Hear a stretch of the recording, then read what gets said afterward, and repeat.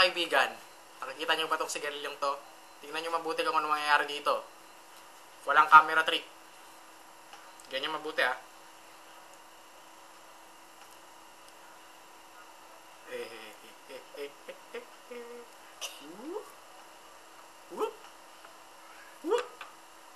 Yan ang tunay na magic.